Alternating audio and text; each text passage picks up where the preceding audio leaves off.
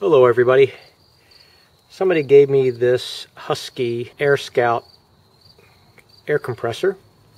It's a Home Depot brand. And see this little rectangular hole right here? That's in the top of the compressor. Let's just call it the compressor head. The cylinder rides up inside here.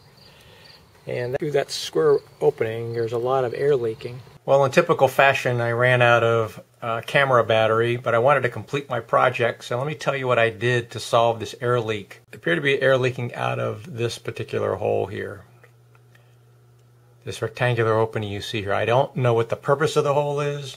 If you happen to know exactly what the purpose of that hole is, and feel that plugging it up is a safety issue or uh, highly discouraged, just post the comment below so that others will be able to benefit from your knowledge.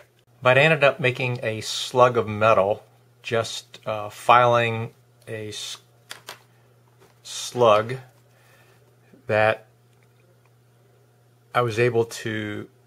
So I created a small slug of metal, a little bit smaller than the opening. There's a taper to this opening, so it gets smaller at the bottom. And then I wrapped uh, this metal slug with a little bit of wine foil and covered it all up in epoxy and then shoved it down into the hole, packing it very tightly. I put a little more epoxy on top of it, allowed it to cure.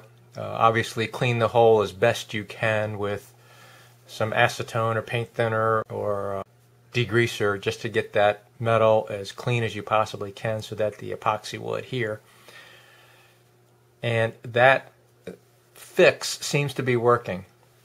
I've got about five hours on the compressor now, and just uh, packing a metal slug with uh, some wine foil paper around it and epoxy seems to have done the trick.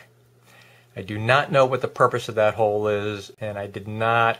Uh, I'm not able to see the other side of this casting because the valves uh, are there but this is the valve plate assembly or compressor pump head and you don't have to remove it to uh, to make this repair. I was able to get this compressor to work and it's uh, performing quite nicely now. So if you found this at all helpful or entertaining, uh, hey, I'd appreciate a thumbs up. Thanks for watching.